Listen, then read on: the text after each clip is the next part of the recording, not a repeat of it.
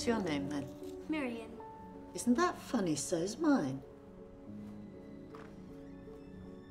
Kiss me goodnight. I'm afraid of her. Well, who is she? I don't know.